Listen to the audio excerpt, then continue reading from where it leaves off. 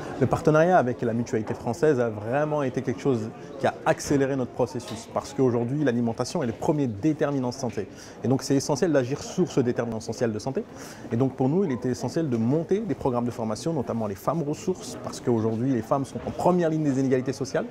Elles sont celles qui peuvent lutter contre les inégalités sociales de santé.